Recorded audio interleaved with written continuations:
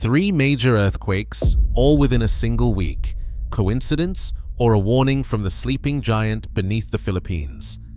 Four massive tectonic plates collide under this nation, their relentless collision storing energy along hidden trenches and cracks. But when the silence finally breaks, who gets caught in the crossfire, and could the next rupture be far bigger than anyone imagines?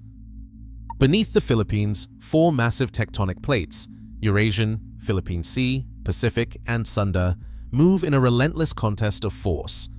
Each year, these plates grind past and beneath one another at rates between 3 and 10 centimeters. Over decades, those centimeters become meters, storing energy in the Earth's crust like a wound spring.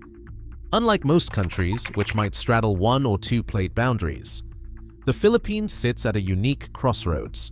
Here, the land is squeezed from all sides, with no true center of safety, only shifting zones of risk. The Philippine Sea Plate pushes northwest, colliding with the Eurasian Plate, while the Pacific Plate subducts from the east.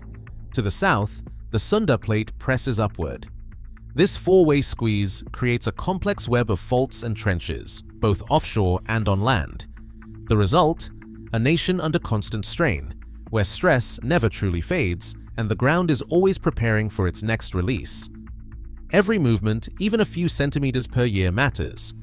Over centuries, this slow-motion collision builds up enough energy to drive some of the world's most powerful earthquakes and tsunamis. The pressure doesn't just accumulate in obvious places, it spreads across hidden cracks and deep trenches, leaving no region untouched. In this environment, the concept of a safe zone becomes a myth. Even areas far from the coast or known fault lines can be vulnerable when the plates decide to move. PHIVOLCS, the national agency tasked with monitoring these hazards, faces the challenge of mapping and preparing for threats that are both widespread and unpredictable. Their mandate is grounded in the science of plate tectonics, a constant reminder that the entire archipelago exists in a geologic crossfire.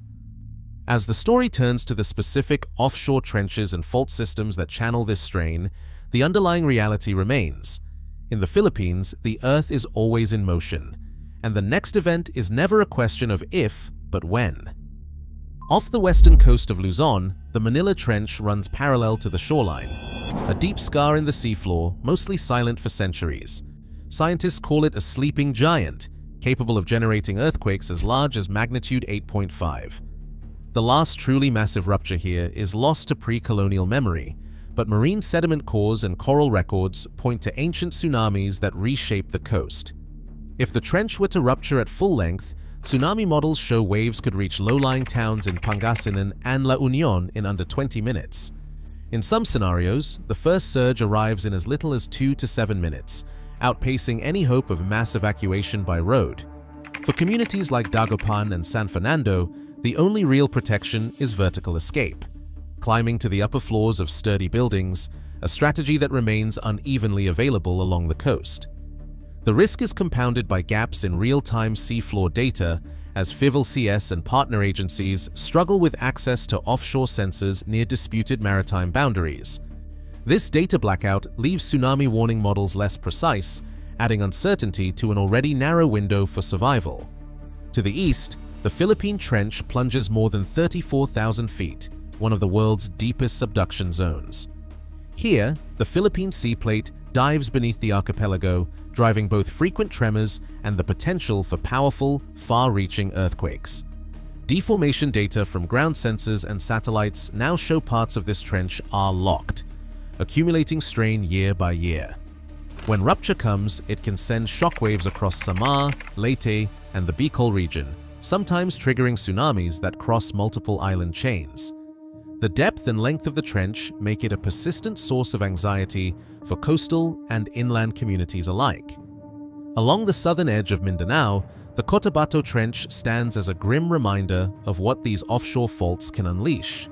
In August 1976, a magnitude 7.9 earthquake struck beneath the Moro Gulf. Within minutes, a tsunami swept through towns like Lebak and Kalamansig, killing more than 8,000 people and leaving entire barangays in ruins. Survivors remember the wave as the sea coming home, a story retold in schools and at fishing docks every June. Painted signs in local dialects trace evacuation paths, and annual drills draw on these memories, reinforcing a culture of vigilance that lives alongside the daily work of coastal life. The Manila, Philippine, and Cotabato trenches are just part of a horseshoe of subduction zones that surround the Philippines. Each trench channels the slow violence of plate motion into sudden, catastrophic release.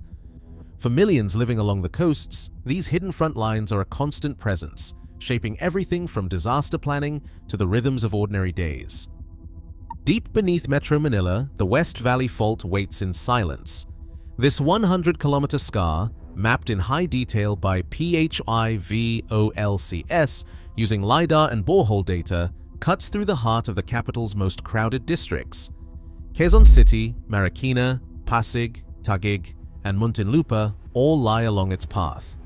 The fault crosses highways like C5 and SLEX, slices under water mains, power substations, and even hospital grounds.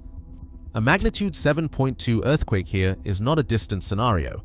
It is the basis for government drills and engineering models. Shaking at this scale would snap bridges, topple older buildings, and rupture pipes that supply millions with water and electricity. Lifeline systems, transport, power, hospitals are all at risk of simultaneous failure. In a 2021 interview, Dr. Renato Solidum, PHIVOLCS director, recalled the aftermath of the 1990 Luzon quake. We learned that seconds of shaking can erase decades of infrastructure. Today's city is denser, taller, and more interconnected. Every new map, every drill, is a race against time to prepare for an event that history and science say is overdue. Microquakes have surged across the archipelago, with year-to-date counts in 2025 already double those of last year. PHIVOLCS analysts now track tremors in zones that, until recently, were blank spaces on seismic maps. In Samar and northern Luzon, sensors have picked up clusters of tiny shocks, some in areas with no previously mapped faults.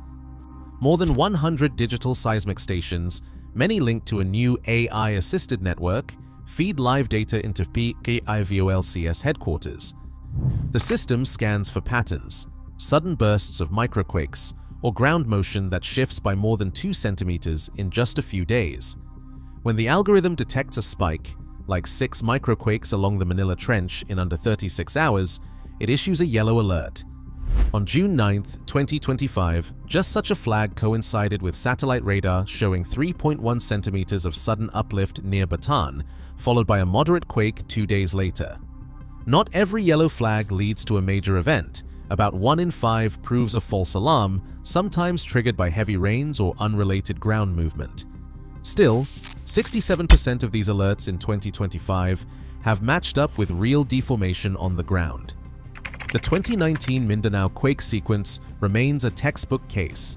A series of tremors, each one shifting stress to the next fault in line, tracked in real time by both sensors and satellites. For PHIVOLCS, these signals are not predictions. They are warnings that the system is restless, and that locked segments may be closer to rupture than surface calm suggests. Earthquakes in the Philippines do not follow a single script. Each region faces a different combination of hazards shaped by the shifting ground beneath. Strong shaking is the most immediate threat, capable of toppling buildings, snapping bridges, and severing lifelines in seconds. In river valleys and reclaimed land, liquefaction can turn solid ground into a slurry, undermining houses and roads as soil loses its strength. Upland communities face landslides, especially after heavy rain or when quakes strike steep slopes, cutting off entire barangays from help. Along the coast, a major offshore rupture could send tsunami waves ashore in less than 20 minutes, with the fastest arrivals in northwestern Luzon and parts of Mindanao. Monitoring these risks now depends on more than just counting quakes.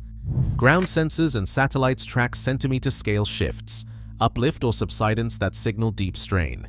GNSS and INSAR networks have flagged new deformation near Samar and northern Luzon, while deep earthquake swarms, clusters of tremors more than 15 kilometers down, have appeared in areas once thought stable. Silent gaps along known faults, where little activity is detected, may be the most dangerous of all. These are the segments that remain locked, quietly storing energy for the next major event. For scientists and communities alike, the checklist is clear. Watch for sudden ground motion, track deep quake clusters, and never mistake silence for safety. In the past year, microquakes in the Philippines have doubled, with new clusters appearing even in previously unmapped zones. The nation's position, trapped between the Eurasian, Philippine Sea, Pacific, and Sunda plates, guarantees constant seismic strain, from deep offshore trenches like the Manila and Cotabato to surface faults crossing cities. The West Valley Fault alone poses a magnitude 7.2 threat to Metro Manila, while the 1976 Cotabato tsunami killed over 8,000, a reminder of the stakes. Despite advances in ground sensors, satellite tracking, and early warning analytics, no system can yet predict exactly when or where the next major rupture will occur. Some segments remain ominously quiet, their true stress unknown. What is certain, the machine beneath the archipelago never stops. Each quake, small or large, is a signal, evidence of a restless landscape. For the Philippines, vigilance and preparedness are not options. They are necessities in a nation built upon shifting ground.